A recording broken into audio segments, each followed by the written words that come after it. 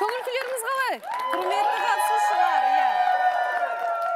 Көңіл күйлері керемет әбден демалып келген біздің қатысушылар. Бір бос орындық бар назар аударсаңыздар. Ол дегеніміз не? Бұйырса бұйырса.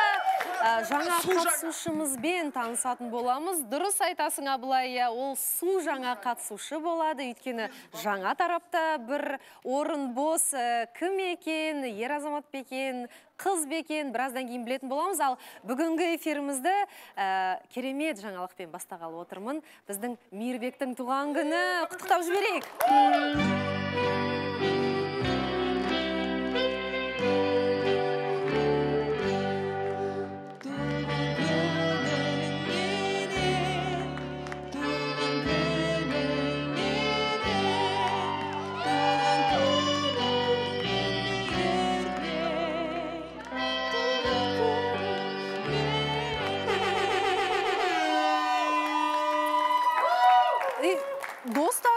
Достары көп дейді мейірбектің бәліш алып келмедіңіздер ме а әсем а? Қалай өткізіп алдыңыздар оны? Білген жоқсың ба? Микрофон қайда осындай кезде әсем дейді екен бәрі бар ғой жанында не балназым бар сен жақын дос емес пе едің а? Жоқ демек мен бірінші адам емеспін ғой иә сенен сұрап тұрған жоқ негізі еще не вечер же. А әлі кеш емес мен просто кеш оны кеш білдім да сондықтан бұйырса бұйырса деп жатыр. Ал енді мейірбек туған күнің құтты болсын. Келші бір құшақтап қояйыншы. Иә біздің мейірбек біздің отбасымыздың досы жалпы. Бізде тіпті ұзату той барлығын атқарып әлібек екеуміз болмаған құдалықта болған кісі бұл. Жастардың арасында жалғыз өзі. Кәдімгі құдалардың танысуына куәгер болған жан. Мен саған тек қана жақсылықтар тілеймін мейірбек. Енді ата анаң аман есен ағаң бауырларың барлығы жақсы сенде барлығы бар. Енді бір жар ғана жетіспей жүр иә? Кәдімгідей қолдап қолпаштап сенің өміріңді ә, бір жарқын жаққа өзгертетін ә, бір сұлу қыз. Ә, тезірек тезірек жолықса екен деп тілеймін. Ә, бұйырса осы жерде тойыңды көруге нәсіп етсін алла тағалам иә? Туған күніңмен. Тағы да бір құшақтасып қояйық. Иә осындай керемет жаңалықпен қандай жақсы иә эфирді бастағаны. Жайғассақ болады қатысушылар. Жаңа қатысуды жаңа не қатысу дейсің, енді күтіп жатырмық қой камила Иә? ханым бірақ енді бізде ескі тарапта толып жатыр енді. Иә, камила да келіп қалыпты бізде. Иә иә дәл соны айтайын деп иә тұрған едім. жаңағы көрермендердің сүйікті қатысушысы деп айтқым келіп отыр. Өте осы, сарказм. осы, осы кісі пікір айтса кәдімгідей бәрі осы кісімен қосыламыз дейді ғой кәдімгідей. Қалың қалай камила? Менде барлығы жақсы камила ханым рахмет сіздер қалайсыздар? Шүкір аман есен денсаулық қалай болды? Қазір барлығы жақсы ә, анама рахмет айтқым келеді. Жаңағы укол капельницасын барлығын жасап ә, жедел жәрдем шақыртып ә, жаңағы компьютерный томография жасадық. Сотрясение головного мозга деді ә, бір ай покой керек деп айтқан болатын. Қазір енді жағдайым жақсарғаннан кейін эфирға келіп отырмын. Біз рахмет енді иә камиланы кәдімгідей сотрясение болыпты ғой басынан жарақат алды ауыр жарақат алды демалсын деп үйіне жібергенбіз сөйтсем ә, камила бір аптадан кейін бассейнде жүзіп жүр. Таң қалдық. Ей бұл қалай болғаны деп. Жоқ енді бас, ә, мен мысалға түсінетін едім? егер де мысалға клубта бір ой- отырыста туған күнде немесе қонақта жүрсем, жарайды да. Бірақ та бассейн ол деген денсаулыққа қарай ғой ол жаман дүние деп ойламаймын өз басым. Негізі Жақсы бастан жарақат алған кезде бола ма екен иә болады. жүзуге? Иә. Өйткені енді жүзген кезде де ол кәдімгідей ә, физикалық белсенділік қой. Жоқ олай өте қатты қуатты қажет етеді. Өте қатты олайынан бүйтіп профессионально жүзген жоқпын мен ондай. Бірақ та мен және де айтып жатырмын ғой клубта жүрсем жарайды да бұл денсаулыққа байланысты болғаннан кейін ондай бір қатты демек сенен де мен алғашқы адам емеспін иә? Бұл туралы сұрап жатқан. Көпшілікке қызық болып көрінген сияқты ғой. Мүмкін иә. Мхм. Жаңа бір ай покой деп айтты ғой. Негізі бір ай өткен жоқ қой иә? Мына жерде негізі көп Кеткенін бір ұрыспайық ай қой өтсін ба? жоқ жоқ кетпе наоборот осы жерде бол бірақ ұрыспа да ешқандай. Ә, конфликтке бармай кішкене жақсы пікір айтып кішкене ұрыспай сол кезде кішкене миың андай нагрузка алмайды да. наоборот қой. иә жақсы пікір айтамыз ғой енді. Мына жақта жақсы тірлік болып жатса. Жоқ мен айтатыным да наоборот қой. Қатты қуанып отырмын камила біздің қатарымызға оралғанына. Және де жалқанға әзілдеп жатырмын да. Сенімен ұрысатын адам келді бүгін енді. Шайқасасыңдар бірге қайтадан. Жаңылхан қуаныштысың ба камиланың қайта оралғанына? Иә қуаныштымын. Не болса да бұл жерде қатысушылардың әрбір қатысушылардың орны бір бөлек қой енді әрқайсысының но енді жағдайға қарай і пікір таласып қаламыз. Ол енді жеке басқаға кетпей бір і оны негізі келгеніне қуаныштымын камила. Мен осы жерде бір нәрсе айта кетейінші. Жаңылханмен қанша пікірталас ә, жасап жатсақ та отырсақ та мен эфир жоқ кезде мені қорғап жаңағындай ә, ол деген ә, денсаулық денсаулықтың мәселесі бойынша осындай дүниесінде қолдап кеткеніне мен рахмет айтқым келеді жаңылханға басқандай қатысушыларды мен мысалға өзіме жақын тартып жүрсем де шынайы шын ниетпен жақсы көрген қатысушылар өте бір жаман пікір айтты да мен соған нетіп қалдым өзім. Былай жаңылхан екеуміз осындай пікірталас жасап жүріп мені қолдағанына осылай рахмет айтамын негізі. Жаңылханның ол бір ерекшелігі ғой. Мысалға ә, жаңылхан мен сенімен өштесіп алдым екен деп өмірінің соңына дейін сенімен жауласпайды және ә, мен сенімен бір үйде тұрып жатырмын ғой деп ә, де- деп те жақтамайды адамды иә кәдімгідей ситуацияға байланысты ә, ойына не келді қандай пікірі бар соны қосып отырады. Енді камиланың оралғанына бұл қатысушылардың арасында ең қатты қуанып жатқан айбек шығар иә аман есен оралғанына. Иә баршаңызға қайырлы күн. Әрине қуанып жатырмын мысалы. Кеше историясынан да көріп жатырмын бүгін эфирға деп. Бағана өзінде бірінші келе сап бірінші камиламен амандасып ә, жалпы қош келіп жатсың жақсы тәуірленіп кеткеніңе көріп қуанып отырмын. Айбек Және- сыйлық қайда? Сыйлық беремін иә деп едің ғой? сыйлығым бар еді. Бір. А сыйлығың иә бар ма еді сыйлығым бар жалпы? еді. Мен бір нәрсе айтайыншы. Ә, сыйлығым бар еді деп жатыр айбек мына мына жақта. Сол ма жоқ жоқ жоқ жоқ ол басқа. емес. Е қазір әріптестеріміз алып келетін шығар біраздан кейін Өзіне- табыстап эфирде жіберсем. болмаған кезде мәселе сыйлықта емес қой мәселе иә сыйл- сыйластықта ғой анда иә Иә. өзінде сондай ішінде ойы болған ғой саған иә, сыйлық мен беру. эфирде болмаған кезде айбек айтыпты да мен камилаға мүлде барлық жағынан қаржылай жағынан көмектесуге дайынмын. Ә, жаңағы снимогын барлығын жасап беруге дайынмын деп айтыпты. Бірақ та мен эфирде отырған кезде айта өткен болатын маған сен тек қана кешір деген сөзің жеткілікті болды деп.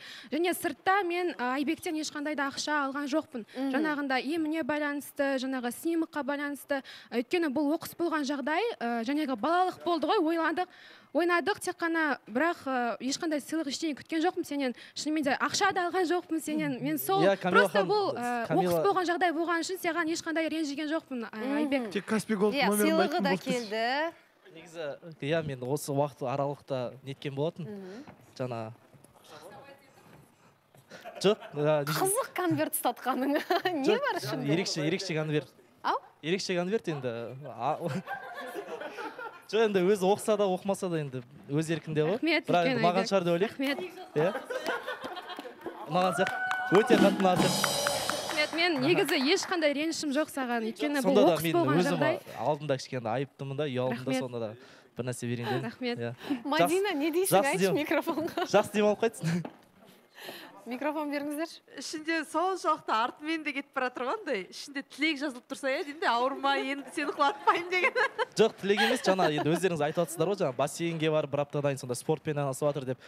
Бұл содан да бір жақсы содан да бір әсер алып сондай бір қалай айтсам болады рахаттанып қайту үшін бір жақсы бір иә жақсы бір тау жақта демалыс орнына бір сертификат қой. А бәсе сөйтіп айтсаңшы әйтпесем расымен де ақша ма ішінде ақша дейін десең тым конверт расымен де тілек пе деп ойлап отқан едім. Жақсы екен бірақ иә рахмет ниетіне рахмет. Бірақ та мен сені жаңағы кешір деген сөзіне де байланысты ә, кешіріп қойғанмын. Бұл ә, бір Көңіл ниет қой, иә, көңіл ғой жоқ бұл сол қанша дегенмен иә көңіл ғой. Мен осы уақытта не істейін не алып берейін деп те айтқан жоқпын. Просто- қал жағдайын біліп отырмын да. Бірақ енді сонда да жарайсың жарайсың айбекке бір ә, қошеметтеп қояйық. Және де бір әлеуметтік желіде ә, стористеріңнен ә, көп нәрсені ұғып жатамыз ғой біз жалпы. Иә сториспен сөйлейтін сөйлесетін кәдімгідей қатысушылар бар. Және балназымның бір назын көріп қалдым. Ә, нөмірлер тарату жайында айтылған сияқты ма? Ау. Ә, бір сторисіңді көріп қалдым деймін. Сол жерде бір бөтен біреу сенің нөміріңе қол жеткізген ғой деймін иә түсінгенім бойынша. Иә соңғы кездері осы демалыс күндері екі үш рет бір жігіттер жазған ватсабыма оны бар ғой балназым ортаға шығып жақсылап тұрып айтып берші келе ғой. Қорқақсың келе алмайсың келе алмасаң не қалайсың қорқақ болмасаң сүймей қалмасаң сен жанымда менің мәңгі болмайсың ба? Әділет әділет енді келмей жүрген бір ақ жан бар ғой студияға иә? Ол дәулет дәулетке қатыстырып қызық өлең қойды негізі иә? Қорқақ деп дәулетті меңзеді ма? Сонда енді әділет жайдан жай ешқандай өлеңді қоймайды бізде негізі. Ә, қазір сұрасаң ол мойындамауы да мүмкін негізі бірақ ә, көреміз енді дәулет қорқақ па жоқ па?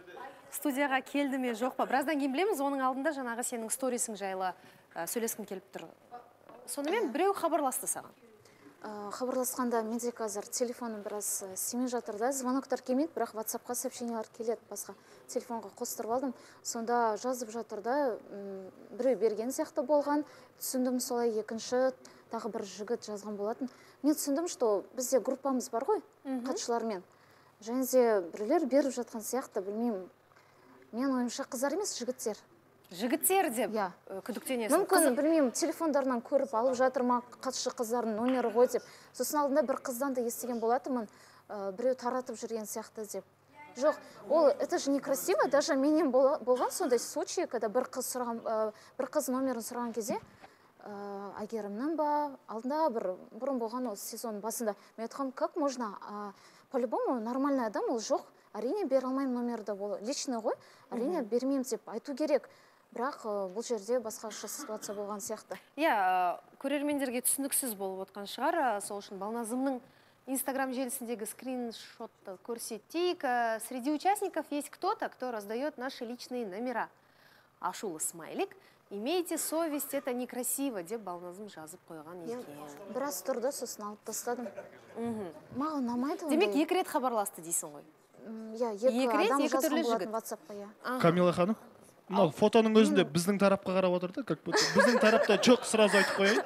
Орын мейірбек сразу мойындаңдар берсеңдер. Кенже біздің тарапта бүйтті ғой. ондай шықпайды. Жоқ негізі өйтіп хатшылар деп күдіктенгенде біртүрлі бұл жалпы бұл әлемде хатшылардан басқа басқа адамдарда да сенің номерлерің бар ғой. Жоқ. Таныстарың бар достарың бар. Именно неге хатшылар деп ойлап жатрсың сен? Ә, негізі хабарласқанда тұрған не бар? Маған да осыдан бір апта бұрын ә, үш номер ма хабарласты да екеуі кішкентай балалар жаңағы прикол ұстап сөйтеді біреуі үлкен апа хабарласты. Барлығымен сөйлестім былай түсіндіріп айттым. Кім берді деген ол по-любому түбіне жетпейсің кім бергенде қайда қалай болсын тауып алады да. Ә, ол нәрсеге қатты қынжылудың қажеті жоқ деп ойдамын. Жаманшылық тілемейді саған. Жалпы тілек айтады немесе кішкентай балалар танысқысы келеді. Сондай нәрсе ғой. егер саған жаман нәрсе айтса оны айт. тексеріспен солай. Танысуға деп бөлесің жарайды. бір екі жігіт солай түсінбейсің менің сөзімді до конца балназым хабарласқан кезде не туралы айтты саған?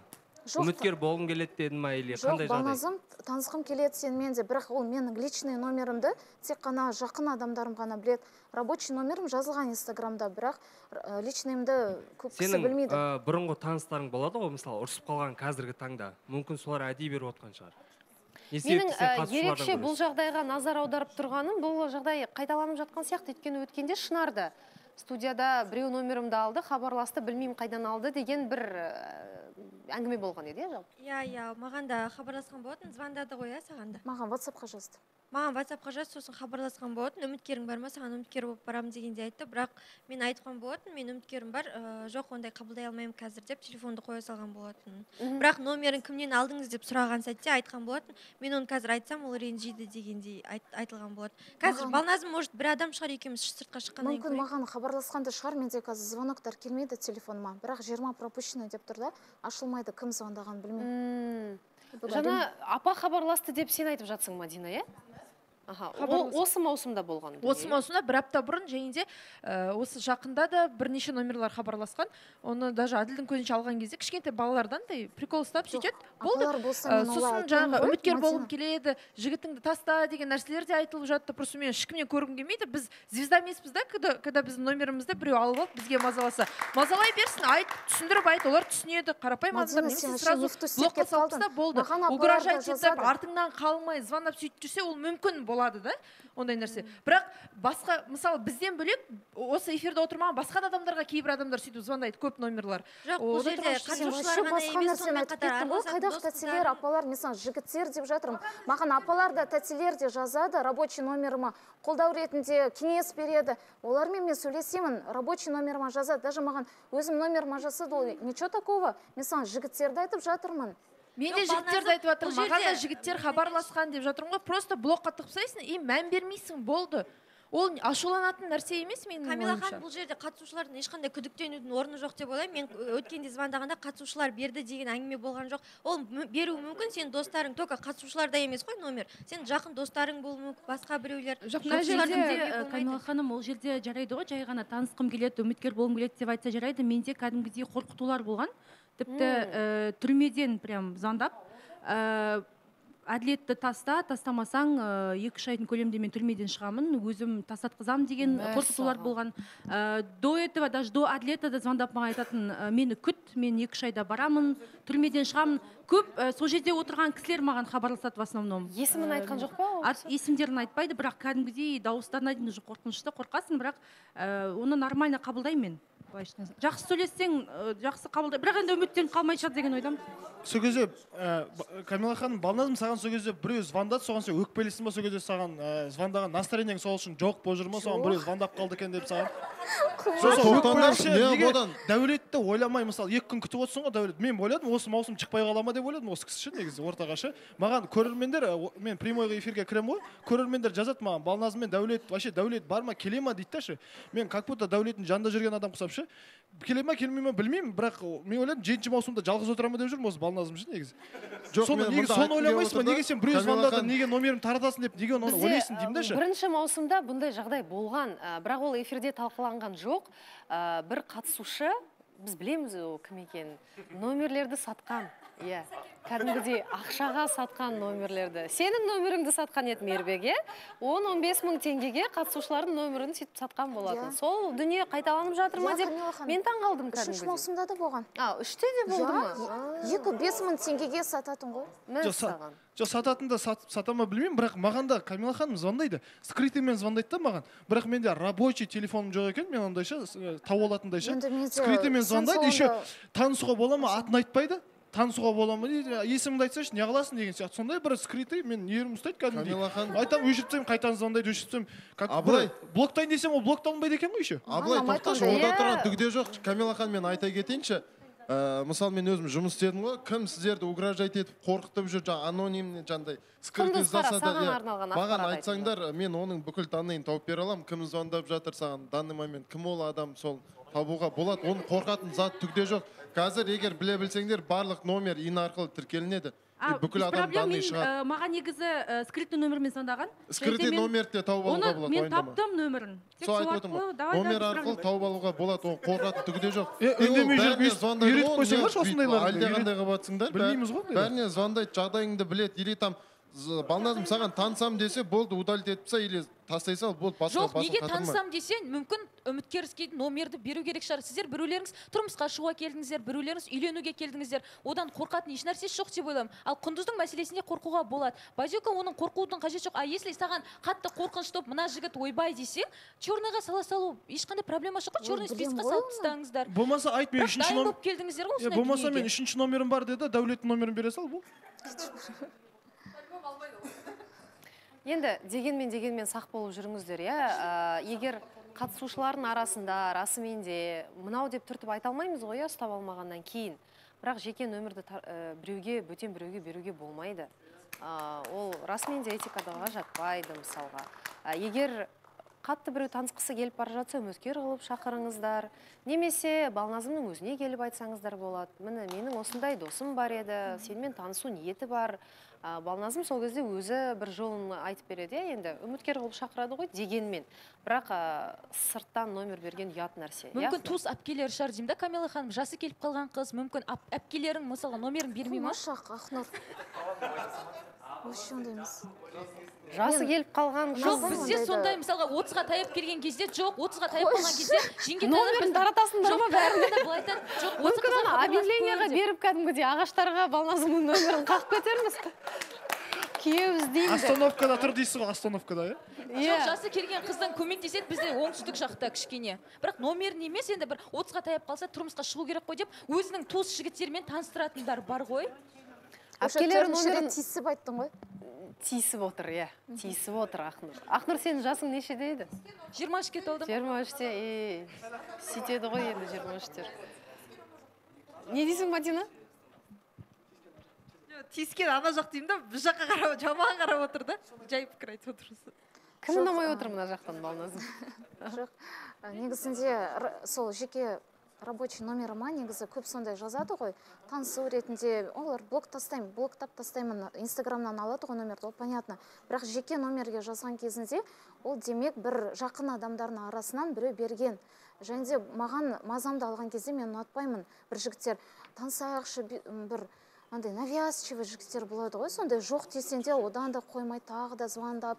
Бірақ ә, маған ә, сол пропущенныйлар болды. Кім звондағанын білмеймін ғой. Ватсапқа сол жазғанда бір мынандай наглый бір жігіт болды да сол. Жазған перепискасына қарасам сол үшін ұнамады Сол көңіліңе тиіп алдында сториске шығара салдым кім беріп жатыр деген сияқты ол дұрыс емес қой деп.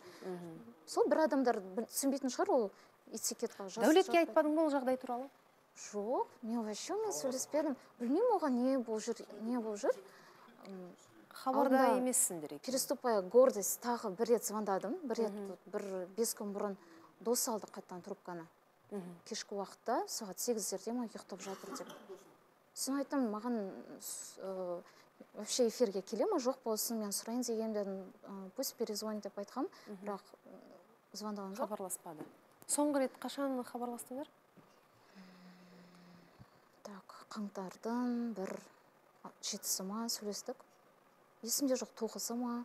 Біраз болды. Біраз уақыт өтіпті біраз екі, екі жұма болды. Мгм. Мүлдем хабарласпайды сен де хабарласпайсың. Қайда екенін білесің бе? Білмеймін. Бірақ алдыңғы күні сторис салған нормально шығар деп ойладым. Алдында білмеймін мүлдем білмеймін не болып жатқан. Достарына хабарласып я болмаса анасына хабарласып білмедің бе? Жоқ менде мынандай да егер де жігіт қаласа ол қайда болса да хабарласады. Білмеймін телефоны бар ғой. Бірақ хабарласпай кету неден басталды? Мүмкін бір екеуің ұрсып қалып болды осымен тоқтатам деген әңгімелер болды ма? Мен айтқам ғой. А сен өзің айттың. Иә. болды қарым қатынас маған керек емес деп Иә. айттың. Содан кейін хабарласпай кетті иә? Содан кейін иә бір өзгеріп кетті. Жаңа жылды қарсы алатын кезде достармен бір конфликт болды дедің болды иә конфликт болды. Одан кейін бір мәселелермен мен алдында тоқтата салдым. Э, ватсаппен сөйлескен кезімізде одан кейін жауап бермей қалды. Содан бері ә, сол жоғалып кетті. Бірақ сонда да мен ашық сөйлесейін деген бір кездесіп ә, дұрыстап сөйлесіп және де мына жерде жалғыз отырып тоқтатқым келмеген. Сол үшін мен срок қойдым. Сәрсенбі күнге дейін бірақ бүгінге дейін созылып кетті ғой. Бүгін шешімі болады енді қорытындысы. Мхм балназы мен достары таңдауға түскен кезде дәулет ә, достарын таңдап кетті ма екен? Жоқ әлде студияға келді ма? Бүгін жарнамадан кейін көреміз.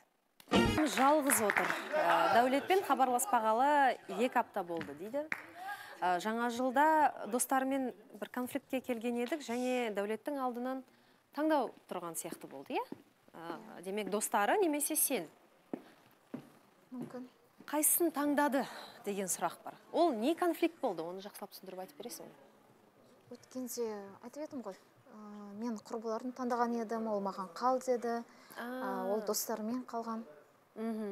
Сондай ода да выбор болды. Менде де таңдау ол болды. достарымен қалды сен мен құрбыларымен құрбыларыммен кетіп қалдым одан кейін одан кейін бірақ хабарласқан сияқтысың оның иә? достары менің құрбыларымды ренжіткен болатын. Бір сөздермен. Одан кейін тағы не болды? Сөйтіп. Содан кейін дұрыстап сөйлеспей кеттік ашық сөйлесе алмадық одан кейін. Бірақ одан кейін келді ме саған? Туған күнімде келді. туған күніңде келді. Туған күнің қай күні еді сенің? Үші күні. Үші күні. Мен кешкі екіден кейін түнде жасадым. Мгм. одан кейін? Одан кейін а одан кейін съемкада көрдім. Эм, где то вот где то сегізі тоғызы ма сондай.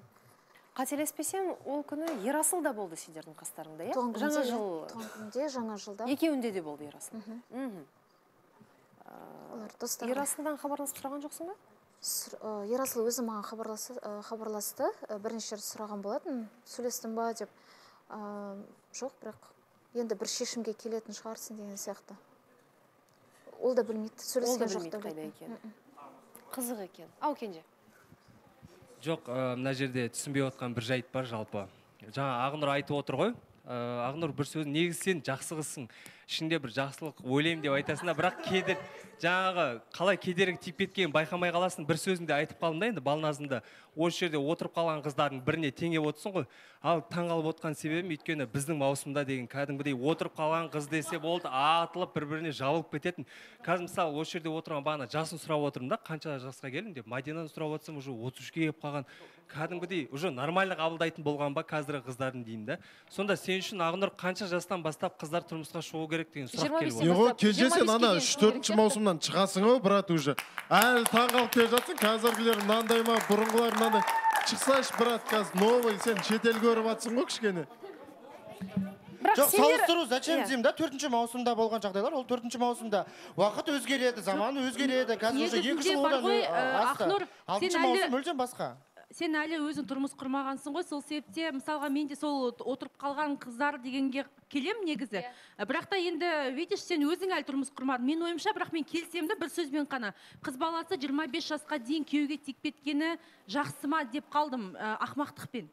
Ал 25-тен кейін уже біз әм, таңдап қаламыз ә, кейде ақымақтық істейсің ғой енді жарайды енді өзімнің ситуациямды айта салайын бірақ та шынымен де өте қатты талғам талғамымыз өсіп кетеді. Ә, анауысы жаман ой трикосы жыртық аяқ киім андай деп таңдап қаламыз. Жиырма беске дейін ақымақтың күйеуге тиіп кетіңдер керісінше бірақ та көп көп не зарекайся дейді ғой. Ақылымды тыңдадым. иә жиырма беске дейін үйленуге тырысамын құдай қаласа. Дұрыс қой ақыл айтып отыр ғой маған үлкен қыз. Иә. Бұл жерде негізі бар ғой кенженің жаңағы сөзіне оралатын болсам енді кенже сендер жамансыңдар деп тұрған жоқ қой. Айтқан жоқ менің маусымым жақсы сендер онша емессіңдер деген сөз болған жоқ. Ол маусымда отырып қалған қыздар тарапына сөз айтылса барлығы кәдімгідей олардың оларды қорғап шығатын. Ал қазір қыздарға бәрібір сияқты неге олай деген сұрақ қойып жатыр. Осы студияда 25-тен асқан қыздар қолдарыңызды көтеріңіздерші жаңылхан мадина ә, құндыз. Үшеуіңсіңдер иә? Балназым камила ханым білмеймін, ә, былай ғой ой жаннұр жиырма төртте екен иә бір жылы бар ә, екен ғой. Камила ханым қараңызшы мысалға отырып қалған қыздар деп бөлесіздер ғой жігіттерді мысалға отызға дейін отырған аяққа отызға толған жігіттер де бар иә мысалға. Бірақ не көліктерің жоқ не үйлерің жоқ не ақшаларың жоқ не не ештеңелерің жоқ негізі отызға дейін ештеңе жоқ ер азаматты мен жалпы это это уже проблема деп есептеймін мысалға. Сол себепті де ә, альтернатив бар ғой десек. Құндыз осы тұрғыда енді дұрыс ә, жігіттер жайлы дұрыс айтып жатырсың бірақ қыздар жаңағы ес білмей тұрғанда ә, күйеуге шығып кету керек деген. Ол да дұрыс емес өйткені ол тоже таңдау керек. Таңдап шығу керек қыз жігіттің қандай екенін білу керек. Ал кішкентай болып жаңа есі кірмей тұрғанда кез келген адамға күйеуге шығып кететін болса ол ертең отбасы бола ма болмай ма? Сондықтан ә, қыздар тұрмысқа шығатын кезде жиырма бес жиырма алты жастарында шыққан дұрыс жиырма сегізге дейін енді кетіп қалған дұрыс емес. Енді жиырма сегіз деген уже отырып қалған қыздардың қатарынан мен солай ойлаймын енді. Сендер уже бала тууларың керек. Осы отызға дейін бала туып бір ба- а, баланың анасы болуларың керек. Денсаулықтарыңды кішкене ойланшы дейін күтіп отыра берсеңдер болады. қырыққа да күтіп күтіп тиіп ғой. жатыр ғой баяғы шығып жатыр ғой қырыққа келіп те енді олар бала балалары бар ма енді? қырыққа келіп тұрмысқа шыққандардың балалары бар ма? біз әдейі жасамаймыз ғой. Өмірде өз адам кездестіру бұл өте қиын сияқты. Және де ол ә, білмеймін мынандай взаимно бір біріне болады ғой ол постоянно болмайды ғой өмірде бір екі үш рет қана болатын шығар. Және де ә, мен өзім әдейі солай жүрмедім ғой жиырма сегіз жиырма тоғызға дейін иә. Ә, менде негізінде шынымен де отношения вот дәулет оның алдында бір жігіт қана болды камила Камила ханым. және де неге осы бізде халық менталитет сондай бір мазақ қылады отырып қалған қыз деп неге солай сөгеді керісінше ол қызға да білмеймін енді бақытты болғысы келеді ғой отбасы құрғысы келеді бірақ жігіт сондай кездеспесе не істейді иә? Және де өзім де әркімде өзінің ситуация ғой және де әркім өзінде ойласын отырып қалған ба отырып қалмаған емес отырып қалған емес пе? Өзім үшін мен ондайды өзім санамаймын және де в душе маған өзімді бір 24 сияқты сезінемін және де маған керісінше айтады сен жас көрінесің ұқсамайсың постоянно сондай сен өзіңді қашанға дейін солай өзіңді сендіресің соны айтшы. Саған сен жасың жиырма тоғызда кішкене отызға дейін сен әлі бала туып үлгеруің керексің денсаулығыңды күтуің керексің. Қашанғы мен душам жиырма төрт сияқты деп өзіңді алдайсың ол алдау тек қана. Саған күйеуге шығу керек шынымен де отызға дейін. шыға берейін ба сонда? Енді дәулет сияқты адамдармен жүрсең жүре бересің. Қырыққа дейін. Жаннұр бұл жерде алдағанда дұрыс негізі өз өзін. Бірақ по факту қарайтын болсақ иә ол отырып қалған мойындайды оның ішінде мен де бармын мен жиырма жетіге келе жатқан қызбын ғой негізінде. Но бірақ ол дейтін жаңағы жігітті таңдауда емес просто жігітте жоқ нормальный жігітте жоқ күйеуге шығатын. Отырған ба отырмаған ба білмеймін сен отырған шығарсың мүмкін бірақ білмей тұрмын мына жерде осы күнге дейін бір жақсы жігіт жолыққан шығар тегі бір балназым тегі дәулет қана жоқ емес шығар. Осы күнге дейін дәулетке дейін де сен мысалы жобаға дейін де бір жігіттер бір апабат бір ухаж еткен бір әдемі жігіттер бір болған шығар тегі бір. Соны айтып жатырмын негізі мен сізге мүмкін мүмкін түрге қарамау керек шығар а? Түрге мен қарамаймын ш- камила Ай, ханым. қоя берші мына жерге бір дәулеттің алдына бір жақсы бір үміткер келді ғой. Сенің де қателігің сол құндыздың да қателігі сол ғой. Өте жігіттің бойына сымбаттылығына назар аударасыздар. Мүмкін басқа қырларына назар аудару керек шығар камила ханым мен айттым ғой мен түрге түрге аса қатты мән бермеймін. Маған бірден харизмасы Құндыз, қойшы. камила ханым давайте не жоқ негізінде бар ғой мен бір нәрсе айта кетейінші. Ә, менде жалпы осы уақытқа дейін айналайын рахмет. Менде осы уақытқа дейін ә, карьера және де махаббат бірге қатар алып жүрдім да. Ә, бірақ та енді болмай кеткеннен кейін қазір махаббатты ғана алып кеткен ғой енді. Бірақ ол да болмай жатыр да бірақ камила ханым менің ойымша өзім үшін осы жыл последний срок болды. Мен ә, осы жылы болса болды болмаса чисто карьераға кетемін бірақ та видите опять так же ақша ақша деп қуып кететін болсам маған күйеудің вообще керек емес болып қалады да. Сосын отыздан кейін өзім үшін бір бала тауып отыратын шығармын білмеймін енді. Өзің үшін. Мәссаған әділет оны қолдап жатыр. Былай ғой негізі жоқ айтып отыр ғой. ә, бір андай бір қазір мынандай темалар шығып жатыр ғой. Любой жігіттен бір бала тауып аламын құндыз сенің айтқың келіп отқаны дұрыс емес деп есептеймін себебі сен айтып отырсың. Любой жаңағы жігіттен бала тауып аламын главный балам болса болды деп. Ол деген дұрыс емес ой деген. Жоқ егер де енді қолдан келмей жатса жалғыз отырмай хотя бы артымнан бір неме дейді ерген бір ұрпағым қалсын дегендей мақсатта ғой. Бірақ та енді мен бала көтергім келеді бала туғым келеді деп кез келген еркекке барып қойнына кіре салмаймын ғой жалпы. ол жай ғана екінші вариант ол отыздан кейін ойланамын оны. бірақ та отызға дейін күйеуге тиіп кетуімнің жағдайын құндыз сен айтасың ғой өзім үшін бір бала туып аламын дейсің сен өзіңді ғана ойлап тұрсың да. Неге ол баланы ойламайсың? Ол балаға әке керек толыққанды отбасы керек. Міне осындайдан кейін сен сияқты ойлағаннан кейін балалардың бұзылады негізі психологиясы әкесіз өскен балдардың. Жалпы сонда 25 жасқа толған қыз не істеу керек? Міне таппады жарын. Жоқ жігіт өзі барып жігіттің мойнына асылу керек пе? Не істеу керек? Және ә, балназымның тағдыры не болмақ? Ә, дәулет студияға келді ме жоқ па? Жарнамадан кейін.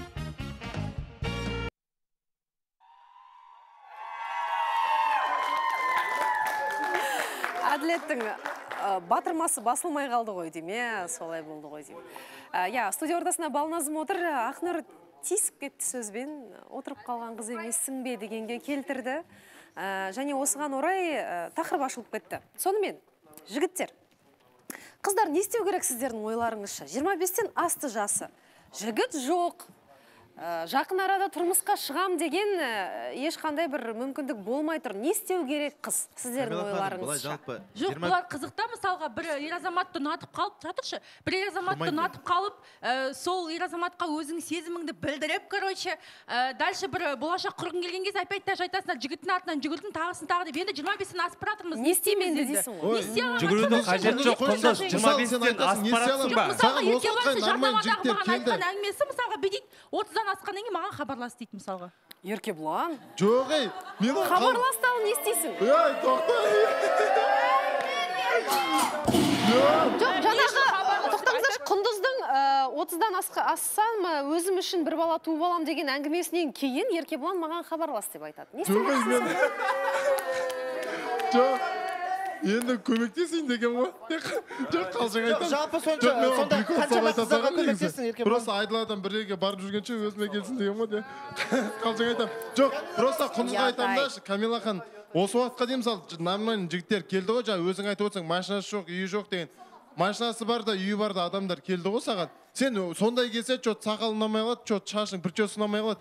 Өзіңе ұнамай қалады просто понимаешь? Таңдаған таза жолығады деген сөз де бар. Если что міне әділет тоже жанында жүр. Жұмысы бар машинасы бар бой десе бойбай сен білесің ба мен бұл іспен нені дәлелдеп отырмын? Что мен машинасына көлігіне бөлмеді үйіне қарамаймын деген сөз ол. Түсіндің ба? Маған мүлік қызық емес. Маған адамның маған деген қарым қатынасы маңыздырақ. Кешірші мен сол үшін. Иә таңдаған тазға жолығады дейсің еркебұлан соны отыздан асып маған жолығасың деп тұрсың ба сонда? Иә мен содан сұрағым келіп жатыр да ұят болып қалды иә бұл Еркебұлан тазбас Еркебұлан. болып тұр ғой байқап сөйлесеңіздер байқап байқап. Не дейсің нұрсұлтан? Жоқ сұрақ қойғым келіп отқан еді да еркебұлан ақыры соншама көмектескіші. Қаншама осы уақытқа дейін отыздан асқан қыздарға көмектестің сен. Отыз жеті ғой деймін примерно. Деші. Қалжың айтамын мен ей просто прикол ғой құрсын оны. Мен эфирде айтқан жоқпын ғой. Қалжыңдап айта салдым болды. Негізі бар ғой адам ә, қыз баланың жасы келген сайын дейді имамның өзі де айтып жатыр жігіттің артынан жүгіріп болсын өздеріңе қаратып алыңдар дейді да тұрмысқа шығуларың керек қырыққа дейін деп. Жоқ тик токта танымал болып кетті бір кісінің сөзі ше. Сондықтан тырысу керек имамның сөзі айтқан бар. сондықтан құндыз ешқандай ұяты жоқ жігіттің артынан жүгіріп болсын өзіңе қаратып алу керек сияқты. Жоқ, былай Мен ғой. әзілдерге байланысты бір ауыз сөз айтып кетейінші әзіл деген жақсы ғой бірақ дегенмен тікелей эфирде қаншама миллион халықтың алдында отқаннан кейін кішкене байқап әзілдейік иә. Олар да біреудің қызы деген сияқты құндыз да біреудің қызы. Қазір құндыз қабылдамай қабылдамай біраздан кейін қабылдап қалып жылап қалуы да мүмкін мысалға. Анасының көңіліне тиіп кетуі мүмкін. Байқаңыздар жігіттер. Не дейсің нұрлан? Э, жалпы былай негізі енді бұл қоғамда үлкен дерт қой негізі. Э, жас қыздар көп та қазірше барып танысайын десең енді танысасың күшті болады бірақ соңында бір баласы болып шығады. Қазір сондай қыздар көп мысалы жаннұрда отыр да түріне қарайсың кәдімгідей қызғасың бірақ дегенмен жас болғаннан кейін ол баласы болады да. Сосын құндыз бірақ айтып отыр жаннұр кінәлі ма жоқ кінәлі емес оған. Бірақ құндыз айтады да отызға келген жігіттер үй жоқ күй жоқ деп сендер жиырма бестен астыңдар ма? Болды сендер қарамаңдар ондайға. Сендерге байға тиген маңызды ма либо соның дүниесі маңызды ма жігіттің деген сияқты? Мысалы сосын сен отыз беске келіп туып аламын деген өте қате.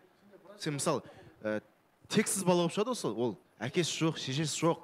Ру болғанда екен білмейсің сен баланың психологиясын бұзасың. Қазір негізі көбісі қисынсыз ойлайды да мысалы еркебұлан сен отызсың ба отыздан кейін маған кел деген сияқты. Сен орынды деп ойлайсың ба сол әңгіменің бәрі? Ақылынан айналдым мен оны жай ғана қалжыңдап жатырмын. Отыздан кейін ол келген кезде маған звондайды деген ешқандай гарантия жоқ қой не? Звондаса ше өздерінше бір әңгімені ары қарай алып кетіп жатсыңдар ғой. Бұл жаңағы еркебұланның айтқанын ұмытайықшы иә? Сол ғой. құндыздың анасына тиіп кетуі мүмкін. Жоқ құндыз әңгіме.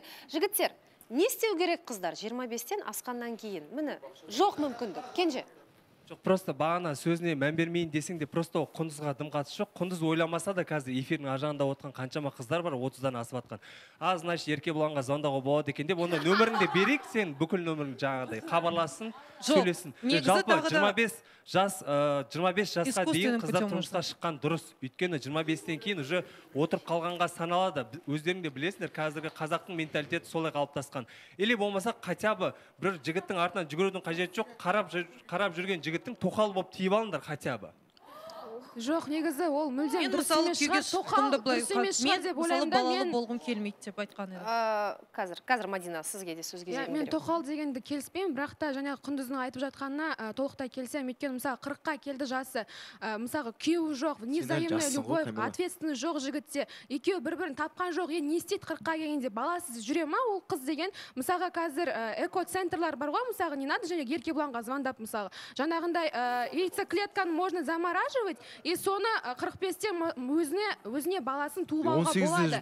экоцентр деген бар.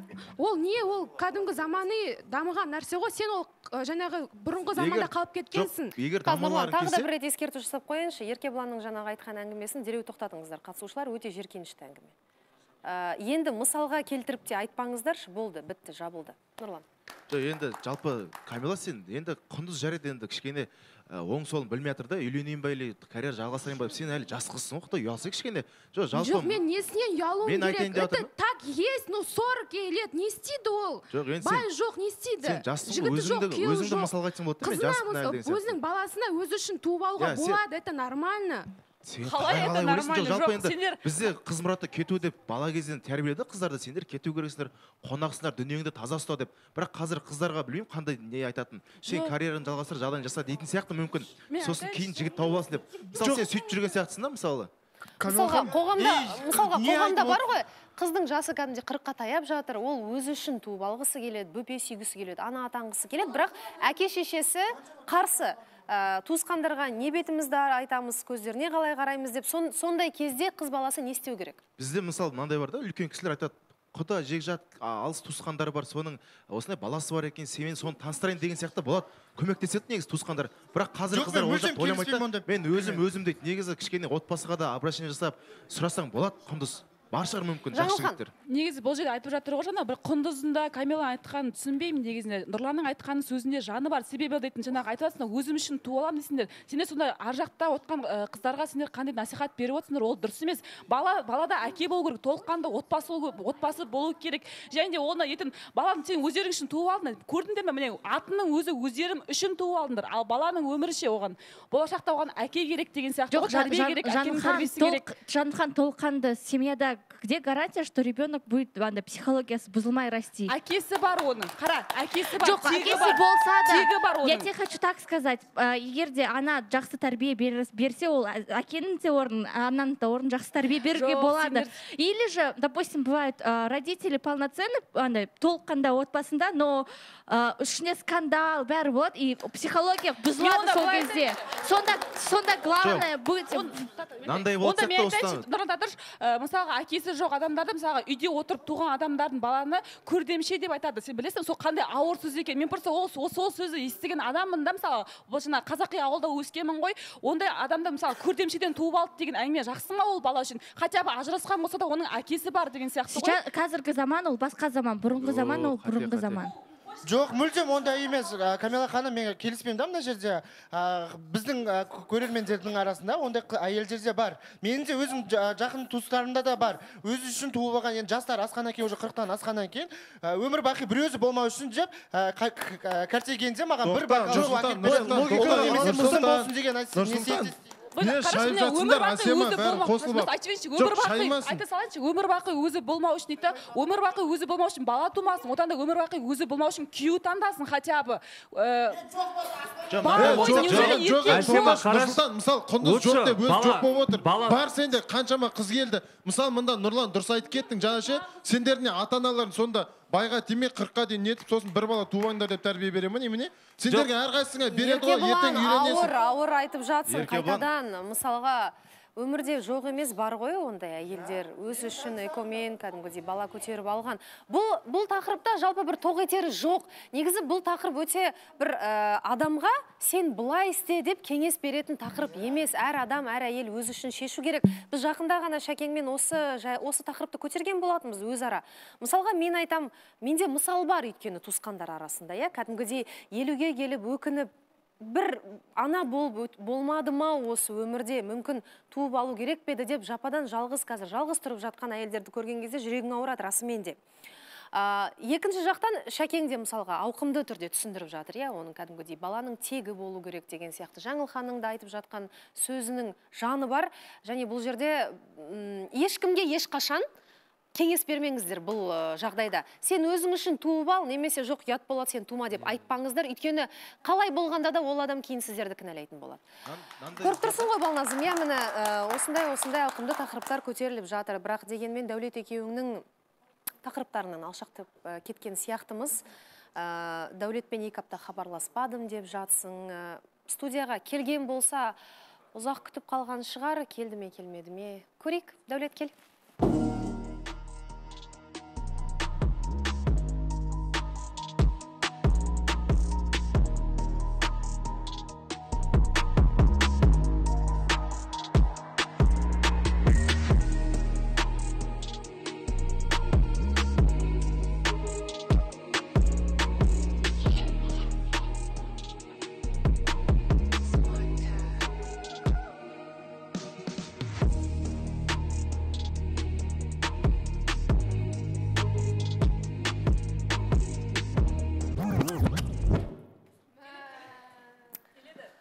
Студияға келмеді. Дәулеттің қайда екенін не істеп жүргенін ә, біз де білмейміз. Жоқ дәулет. Келемін деп уәде берген сияқты еді негізі. Бүгін емес жалпы бұған дейін. Ұстай алмадық.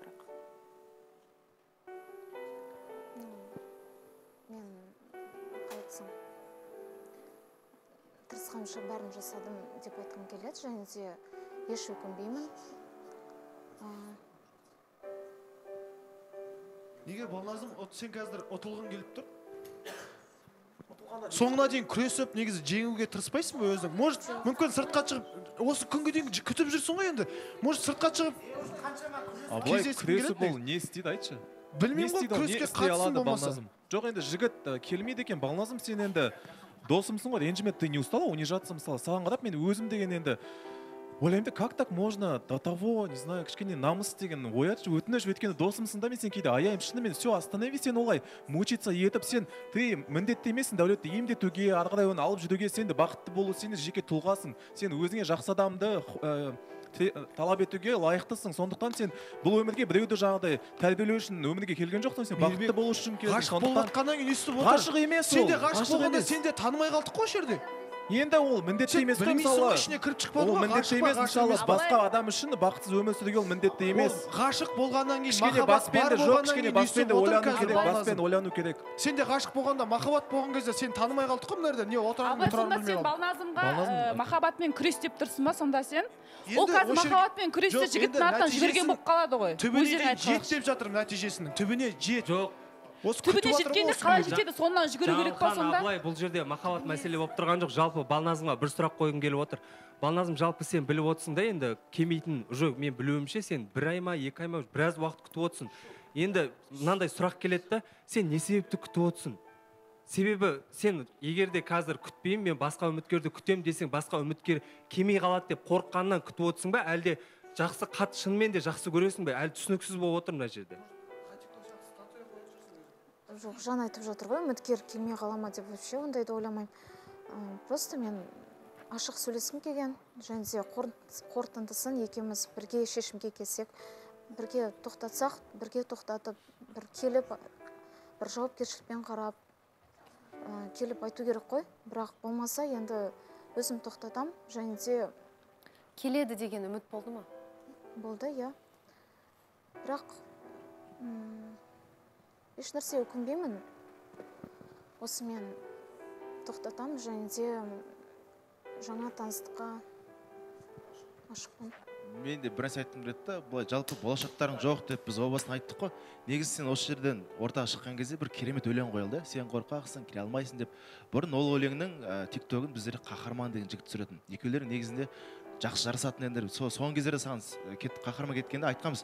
Ойланып көресің деп мүмкін қаһарман сен де ойланарсың балназым сен де кішкене көресіңдер бақыттарың сол шығар. М, қаһарманмен жігіт ретінде жігітпен ретінде сөйлескен жоқпын жай дос ретінде ғана. Жақында қалымды біліп былай жазған болатын білмеймін. Негізі балназым саған кішкене сенбей тұрмыз да балназымға мен жеке өзім кішкене сенбей тұрмын да ш. бірақ махаббаттарына сенемін да шы қарашы ә, қазір ә, дәулет кіріп қалып шы о балназым деп бетіңе сүйіп құшақтаса шы ей құшақтайсың ғой мойнында шы қолын алып кәдімгідей қол ұстасып мына жерден таныстық жалғасады деп те Қазір Дәулет кетуге де дайын болып тұрсың ғой сен. Балназым неге өзіңді алдап тұрсың сен бізге? Жоқ абылай қарашы егер екі жақтан амандасып құшақтасып кетіп кетесің ғой абылай екі жақтан бірдей тартылыс болмайтын болса екі жақтан бірдей бол- тартылыс болмайтын болса керек жоқ ғой өйтіп қинап өз өзіңді. Сен лучше өзіңді қинама дәулетті де қинама. Айтатын сөз бар да кім еді? Сен жақсы көрген үшін жібер дейді. Сен дәулет жібер басқа таныстыққа сен ашыл осыған дейін аманым түзу болатын ғой біз айырылысқан кезінде де. Бірақ қазір это реально дұрыс емес былай келмегені бір жауапкершілікпен қарамағаны және де осыдан кейін мен жаңа абыл айтып жатыр ғой амандасасың ешнәрсе қарап жоқ амандаспаймын. Қазір еш- есік ашылып кіріп келсе дәулет бұл қалжың болды. Дейді реакцияң қандай болатын? Мүмкін емес сияқты. Балназым негізі болса саған жоқ болды ғой. Шықса қазір шығушы еді камила ханым мүмкін саған бүйтіп сыртта шы балназым болды жарайды қойшы. Достарымды қойшы бәрін де қойшы. Бір отырып бір серьезно сөйлесейікші. Балназым кеш. Деп саған бүйтіп айтса мен түсінесің ғой менің ауырып жүргенімді келмей жүргенімді де білесің деген сияқты. Бірақ шынайы білесің ғой үш жыл болды екеуміздің өйстіп ә, ара қатынасты өйтіп құрамай жүргенімізге. Бір мені кешірші деп бір бас иіп келсе кешіретін бе едің? Жоқ ондай сұрақ не үшін қойып көрдің ба? сен ойланып қалдың. Бағанағы сөзің сол кезде өтірік болды ма? Сен үміткер қабылдаймын болды. Қашан? Қазір келсе ма? қазір келсе де ертең келсе де. Абылай сендерді төртінші маусымда өйстіп ұзақ күттірмейтін еді ғой. Сыстыра шығарып жіберетін еді. Хас сен неғып өйтіп отырсың енді? Сен де төртінші маусым қатысушы емессің ба кенже сияқты. Жоқ бұл жерде төртінші маусым емес қой А, алтыншы маусым ғой. Ә төртінші маусымда күтпейтін қанша уақыт болды күтіп отқаны? Балназым бір ай болды ма екі ай болды ма? Үш жыл болды.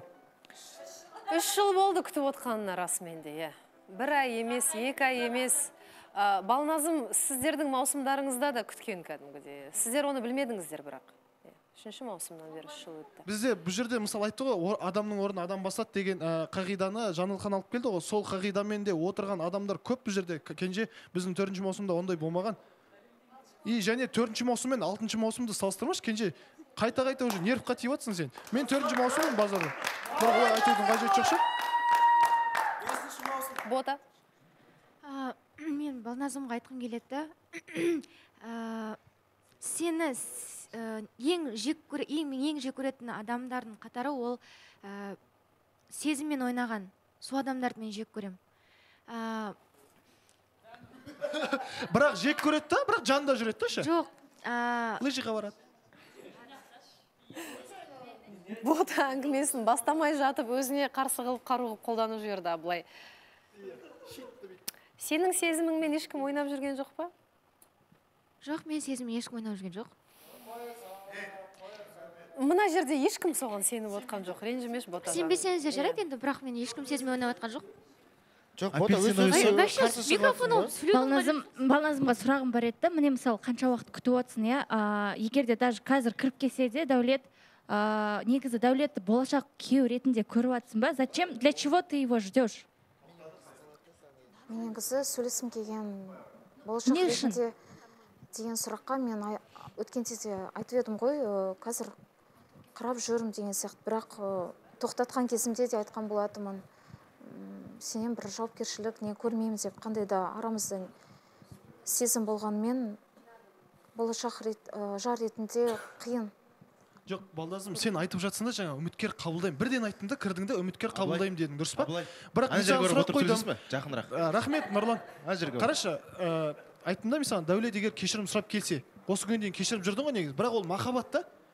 Кешіріп жүрдің. Қазір келіп кешірім сұраса кешіретін бе едің деген сен иә дедің абылай сенің ниетіңнің түзу екенінде логика? ешқандай күмәніміз жоқ бірақ дәулет пен балназымнан расымен де берік бір жақсы отбасы шығады дегенге өз басың сенетін бе едің? Ә, сенбеймін бір дәулеттің елу де соңғы елу деп әрекеттеріне айтсам. қарап. Қате айтпаймын елу де елу деп айтсам болады. Өйткені біз мына жақта дәулетті өзгертуге қанша ынтамыз да болды ә, енді қанша ә, ойымызды білдірдік бірге ше енді? Шақ та көмекте шакең де көмектесті осы әлемде қанша мың адам бар қанша миллион адам бар ешқайсысы сенбейді екеуінің бақытты болып күшті отбасы болып кететініне. Өйткені енді дәулетті білеміз ғой қандай адам екенін және де балназымға дәулет сияқты адам керек емес. Бақытты бақытты болмайды бақытсыз болады мен айтайын. Жаннұр, болмайды дәулетке тиген адамның ешқайсысы бақытты болмайды. Бұл пікірің сен қате. дәулетке кім күйеуге шықса да ешқайсысы бақытты болмайды басқа адам жайлы олай айтпа. Қазір дәулет кіріп келсе Кіріп келе берсін, бетіне де айтамын, екеуі кіріп бақытты келе болып берсін. кетсе не істей аласың? Кіріп келе берсін бақытты болсын егер сондай болса. Жоқ негізі бар ғой шын сүйгендер. Бақытты болмайды ау че то ана қыз жібек төлеген қосылған жоқ қозы мен баян қосылған жоқ мамыр мен қалқаман қосылған қа- қалқаман мамыр ма еді Ақнұр сонда сенің көп ата анаң бір бірін сүймеген деп ойлайсың ба? Жоқ сүйген шығар. Бүйтіп енді балназым мен дәулеткінде сезім болды деп ойламадым мен. Демек шын ғашық емес сенің ата анаң иә? Жоқ ғашық болды ғой. Бірақ бұлардікі үш жылдап кеткен деп махаббат ма бірдеңе неге? миларыңа сондай бір информацияны кіргізіп қойғанға бір құмарсыңдар неге жақсылыққа бір жоқ қосылады. Балназым әлі өзінің адамын табады деген үшін дүниені алмайсыңдар мысалға иә? Ә, қараңыздаршы м, дәулет келген жоқ студияға өкінішке орай. Ә, дәулет пен балназым қайта қосылып жатқан кезде мен айтқан едім балназымға жақсылап ойлан болашақ көру өте қиын сендерден. Дәулет тарапынан өте көп проблемалар бар оның барлығын білеміз. Дегенмен күресті қыз дегенмен ә, қолынан келген жасады жасаған жоқ емес. Қазірде мысалға сұрақ қойылып жатса дәулет кіріп келсе балназым сен кешіретін бе едің? дегенге де балназым толыққанды жауап бере алмай отыр. Ә, толықтай ұмыттым деп айта алмайды меніңше.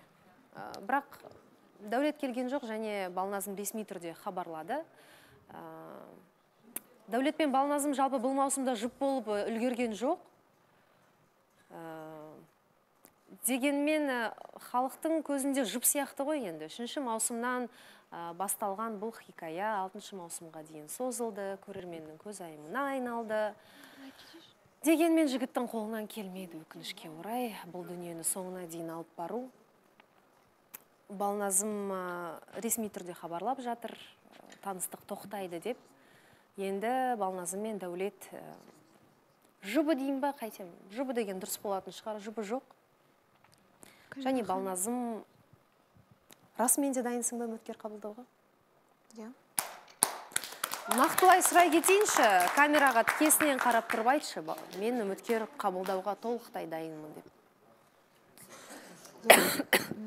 осымен ара қатынасымыз ә, бітті. Және де мен қазір көбінесе шынымен де ақылға салынамын андай сезім деген ондайды көп естімеймін ба білмеймін. Ә, шынымен де толықтай таныстыққа жаңа таныстыққа дайынмын. Деп жатыр. Үміткер күтесің